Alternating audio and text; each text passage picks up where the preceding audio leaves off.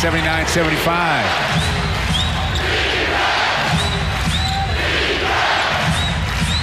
Aldridge again.